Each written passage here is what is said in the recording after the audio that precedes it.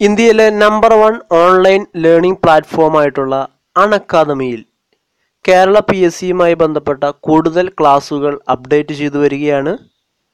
ഈ പ്ലാറ്റ്ഫോമിൽ ഞാൻ ക്ലാസ്സുകൾ എടുക്കുന്നത് സുധീഷ് രാഘവൻ എന്ന പ്രൊഫൈൽ നെയിമിലാണ് ഇനിയും എന്നെ ഫോളോ ചെയ്യാത്ത കൂട്ടുകാരുണ്ടെങ്കിൽ തീർച്ചയായിട്ടും ഫോളോ ചെയ്യുമെന്ന് പ്രതീക്ഷിക്കുന്നു. ഓരോ കോഴ്സും നിങ്ങൾ എൻറോൾ ചെയ്യുക അതുപോലെ റേറ്റ് ചെയ്യുക റിവ്യൂ ചെയ്യുക നിങ്ങളുടെ വിലപ്പെട്ട നിർദ്ദേശങ്ങളും അഭിപ്രായങ്ങളും കമന്റ് ചെയ്യുക. ഓരോ വീഡിയോയും നിങ്ങൾ കൂടുതൽ കൂട്ടുകാരുമായിട്ട് മാക്സിമം ഷെയർ ചെയ്യണം. നിങ്ങളുടെ എല്ലാവരുടെയും സപ്പോർട്ട് പ്രതീക്ഷിക്കുന്നു. എല്ലാ കൂട്ടുകാർക്കും പി എസ് സി ത്രീ സിക്സ്റ്റിയിലേക്ക് സ്വാഗതം.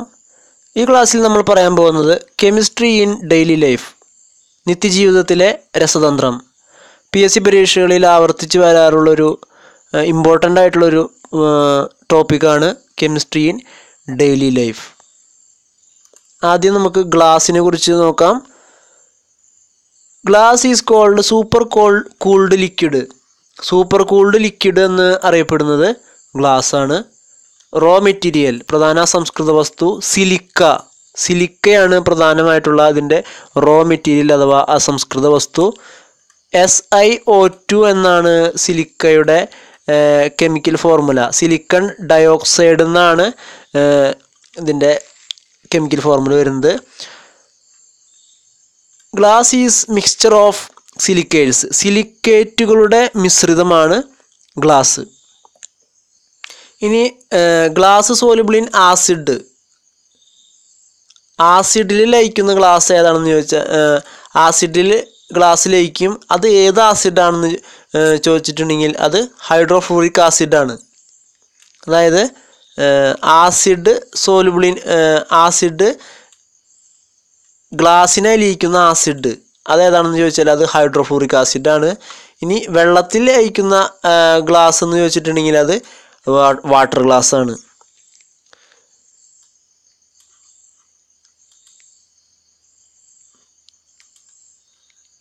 അടുത്തത് വിവിധ തരത്തിലുള്ള ഗ്ലാസ്സുകൾ ഏതൊക്കെയാണെന്ന് നോക്കാം. Soda glass. അത് സോഫ്റ്റ് ഗ്ലാസ് എന്നാണ് അറിയപ്പെടുന്നത് സോഡ ഗ്ലാസ് ഇതിന്റെ പ്രത്യേകത എന്ന് പറഞ്ഞാൽ സാധാരണ നമ്മൾ ഉപയോഗിക്കുന്ന ഗ്ലാസ് സോഡ ഗ്ലാസ് ആണ്.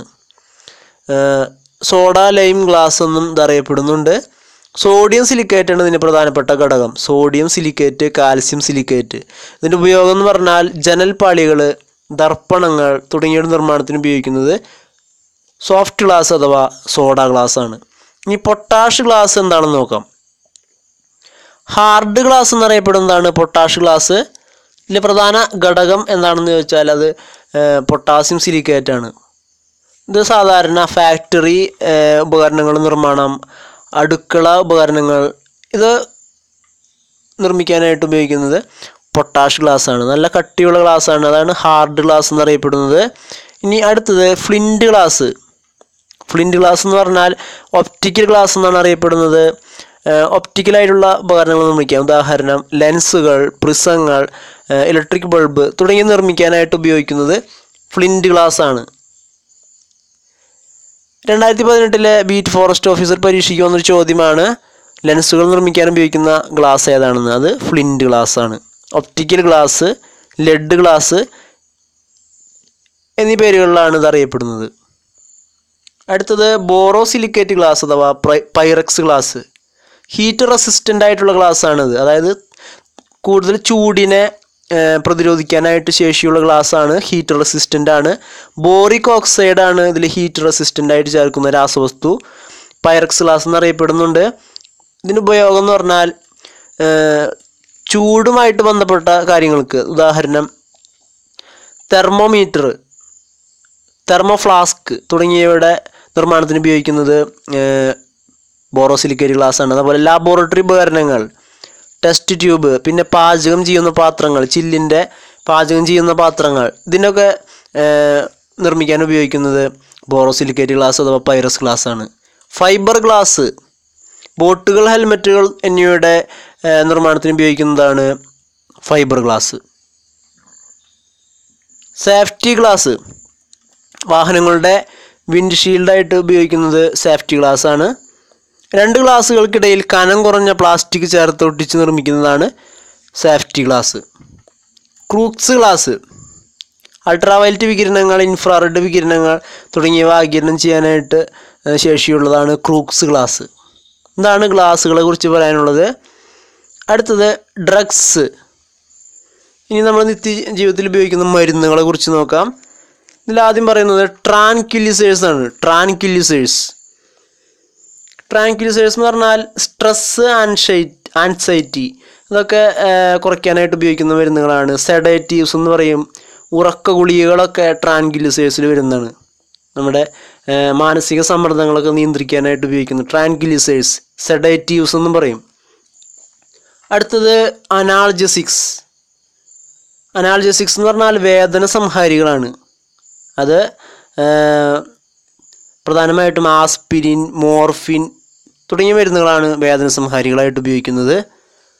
ആന്റിബയോട്ടിക്സ് ആന്റിബയോട്ടിക് മെഡിസിൻ എന്ന് പറഞ്ഞാൽ അത് പനി കുറയ്ക്കാനായിട്ട് ഉപയോഗിക്കുന്നു. ശരീര താപനില കുറയ്ക്കാനായിട്ട് ഉപയോഗിക്കുന്നതാണ് ആന്റിബയോട്ടിക്സ് ഉദാഹരണം പാരസെറ്റമോൾ. ആന്റിബയോട്ടിക് മലയാളത്തിൽ തന്നെ പ്രതിയോഗികങ്ങൾ എന്ന് പറയും. ബാക്ടീരിയൽ ഇൻഫെക്ഷൻസിന് ഉപയോഗിക്കുന്നതാണ് ആന്റിബയോട്ടിക്സ് ഉദാഹരണം പെൻസിലിൻ ആംബിസിലിൻ അമോക്സിസിലിൻ ഇതൊക്കെ ഒരു ഉദാഹരണമാണ്. ആദ്യമായിട്ട് കണ്ടെത്തിയ ആന്റിബയോട്ടിക് പെൻസിലിനാണ് ആയിരത്തി തൊള്ളായിരത്തി ഇരുപത്തെട്ടിൽ അലക്സാണ്ടർ ഫ്ലെമിംഗ് ആണ് പെൻസിലിൻ കണ്ടെത്തിയത്. ഇനി antiseptics disinfectants antiseptics and disinfectants എന്ന് പറഞ്ഞിട്ടുണ്ടെങ്കിൽ അതാണ് നാശിനിയാണ്. നമ്മൾ പുറമേ ഉപയോഗിക്കുന്നത്. എക്സ്റ്റേണൽ യൂസ് ആയിട്ടുള്ളതാണ് അണുനാശിനിയായിട്ട് ഉപയോഗിക്കുന്നതാണ്. മുറിവുകളൊക്കെ വന്നാൽ അതിന് അണുനാശിനിയായിട്ട് ഉപയോഗിക്കുന്നതാണ്. ഡെറ്റോളൊക്കെ ഇതിൽ ഉൾപ്പെടുന്നതാണ്. അതുപോലെ ഹൈഡ്രജൻ പെറോക്സൈഡ് ഇതൊക്കെ അതിൽ ഉൾപ്പെടുന്നതാണ്. അടുത്തത് സോപ്പ്. സോപ്പ് എന്ന് പറയുന്നത് അതൊരു കെമിക്കൽ കോമ്പൗണ്ടാണ്. അത് നമ്മൾ വാഷിങ്ങിനൊക്കെ ഉപയോഗിക്കുന്നതാണ് സോപ്പ് എന്ന് പറയുന്നത്. അപ്പോൾ soap soap is made by a process of saponification soap നിർമ്മിക്കുന്ന പ്രക്രിയനെ അറിയപ്പെടുന്നത് സാപ്പോണിഫിക്കേഷൻ എന്നാണ്. ഒരു സ്റ്റിയറിക് ആസിഡ് അതായത് സാധാരണ എണ്ണയോ കൊഴുപ്പോ അത് അത് അതിലാണ് സ്റ്റിയറിക് ആസിഡ് കാണപ്പെടുന്നത്. അതൊരു ആൽക്കലിയുമായിട്ട് പ്രവർത്തിച്ചുണ്ടാകുന്ന ഒരു ലവണമാണ് സോപ്പ് എന്ന് പറയുന്നത്. ഒരു എണ്ണയോ അല്ലെങ്കിൽ കൊഴുപ്പോ സ്റ്റിയറിക് ആസിഡുകൾ ആൽക്കലിയുമായിട്ട് പ്രവർത്തിച്ചിട്ടുണ്ടാകുന്നതാണ് സോപ്പ് സാധാരണമായിട്ട് സാധാരണയായിട്ട് ഉപയോഗിക്കുന്ന ആൽക്കലികൾ sodium hydroxide potassium hydroxide sodium hydroxide ഉപയോഗിക്കുന്നത് വാഷിംഗ് സോപ്പുകൾ നിർമ്മിക്കാനാണ്. പൊട്ടാസ്യം ഹൈഡ്രോക്സൈഡ് ഉപയോഗിക്കുന്നത് ബാത്തിങ് സോപ്പുകൾ നിർമ്മിക്കാനാണ്. ഓർത്ത് വയ്ക്കുക washing soap sodium hydroxide bathing soap potassium hydroxide ഇനി സോപ്പുകളിലെ ക്വാളിറ്റീനെ കുറിച്ച് പറയുകയാണെങ്കിൽ ടി എഫ് എം എന്ന് പറയും. ടോട്ടൽ ഫാറ്റി മാറ്റർ സോപ്പിന്റെ ഗുണനിലവാരം കണക്കാക്കുന്നത് ടി എഫ് എം നോക്കിയിട്ടാണ്. എഴുപത്താറ് ശതമാനം അതിന് മേലെയുള്ള ടി എഫ് എം ആണെന്നുണ്ടെങ്കിൽ നല്ല ക്വാളിറ്റിയുള്ള സോപ്പാണെന്ന് നമുക്ക് മനസ്സിലാക്കാം. ഇനി ബേബി സോപ്പുകളിൽ ഉപയോഗിക്കുന്ന ഓയിൽ ഏതാണെന്ന് വെച്ചാൽ അത് ഒലിവ് ഓയിലാണ്. സാൾട്ടിങ് ഔട്ട് സോപ്പ് നിർമ്മാണ വേളയിൽ ഗ്ലിസറിനെ വേർതിരിച്ചെടുക്കാനായിട്ട് ഉപയോഗിക്കുന്ന പ്രക്രിയയാണ് സോൾട്ടിങ് ഔട്ട് നമ്മൾ സോഡിയം ക്ലോറൈഡ് ആണ് ഇതിൽ ചേർക്കുന്നത്. അപ്പോൾ ഉപ്പ് ചേർക്കുമ്പോൾ സോപ്പും ഗ്ലിസറിനും വേർതിരിഞ്ഞു വരുന്നു. ഇതിനെയാണ് സോൾട്ടിങ് ഔട്ട് എന്ന് പറയുന്നത്.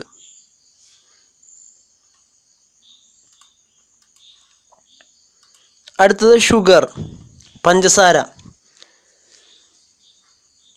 ഷുഗറിലെ കോൺസ്റ്റിറ്റ്യൂന്റ് എലമെൻസ് എന്താണെന്ന് വെച്ചാൽ അത് കാർബൺ ഹൈഡ്രജൻ ഓക്സിജൻ എന്നിവയാണ്. ഘടകമൂലകങ്ങൾ കാർബൺ ഹൈഡ്രജൻ ഓക്സിജൻ ഇനി ആദ്യമായിട്ട് കണ്ട ആദ്യമായിട്ട് ഉപയോഗിച്ച കൃത്രിമ മധുരം എന്ന് പറയുന്നത് സാക്കറിനാണ് അത് സാധാരണ പഞ്ചസാരയുടെ പല മടങ്ങ് മധുരം ഉള്ളതാണ് സാക്കറിൻ ഫസ്റ്റ് ആർട്ടിഫിഷ്യൽ സ്വീറ്റ്നർ ആദ്യത്തെ കൃത്രിമ പഞ്ചസാര സാക്കറിൻ. ഇനി സിംപിളസ്റ്റ് ഷുഗർ എന്ന് പറയുന്നത് ഗ്ലൂക്കോസ് ആണ്. മോണോസാക്രൈഡ് വിഭാഗത്തിൽപ്പെട്ടതാണ് ഗ്ലൂക്കോസ് ഇതാണ് ഏറ്റവും സിമ്പിളായിട്ടുള്ള ഷുഗർ എന്ന് പറയുന്നത്. കോമൺ ടേബിൾ ഷുഗർ സൂക്രോസ് നമ്മൾ സാധാരണ ഉപയോഗിക്കുന്ന പഞ്ചസാര സൂക്രോസ് ആണ്. ഇത് കരിമ്പിൽ നിന്നും ലഭിക്കുന്നതാണ്. കരിമ്പിൽ നിന്ന് ലഭിക്കുന്ന പഞ്ചസാര സൂക്രോസ് ആണ്. ഇനി ഷുഗർ ഷുഗർ ഇൻ മിൽക്ക് പാലിലെ പഞ്ചസാര ഏതാണെന്ന് ചോദ്യം വരാറുണ്ട്. അത് ലാക്ടോസ് ആണ്. ഷുഗർ ഇൻ ഫ്രൂട്ട്സ് പഴങ്ങളിലുള്ളത് ഫ്രക്ടോസ് ആണ്. ഷുഗർ ഇൻ ബ്ലഡ് നമ്മുടെ രക്തത്തിലുള്ള പഞ്ചസാര ഏതാണെന്ന് ചോദിച്ചാൽ അത് ഗ്ലൂക്കോസ് ആണ്. ഓർത്ത് വയ്ക്കുക. ഷുഗർ കെയിൻ അതായത് നമ്മൾ ഉപയോഗിക്കുന്നത് കരിമ്പിലുള്ള പഞ്ചസാരയാണ്. അത് സൂക്രോസ്. ഇനി സ്റ്റാർച്ചിലുള്ള ഷുഗർ എന്താണെന്ന് ചോദ്യം വരാറുണ്ട്. അത് മാൾട്ടോസ് ആണ്. ബാർലി സ്റ്റാർച്ച് അതിലൊക്കെ മാൾട്ടോസ് ആണ് ഉപയോഗിക്കുന്നത്.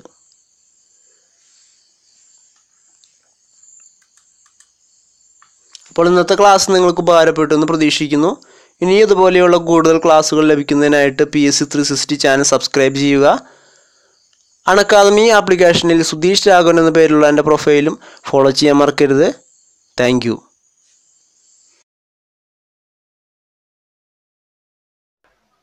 നിങ്ങൾ ആദ്യമായിട്ടാണ് പി എസ് സി ത്രീ സിക്സ്റ്റിയുടെ ഈ വീഡിയോ കാണുന്നതെങ്കിൽ തീർച്ചയായിട്ടും ചാനൽ സബ്സ്ക്രൈബ് ചെയ്യുക. ഏറ്റവും പുതിയ നോട്ടിഫിക്കേഷൻ ഏറ്റവും ആദ്യം ലഭിക്കുന്നതിനായി തൊട്ടടുത്തുള്ള ബെൽ ബട്ടൺ അമർത്തുക.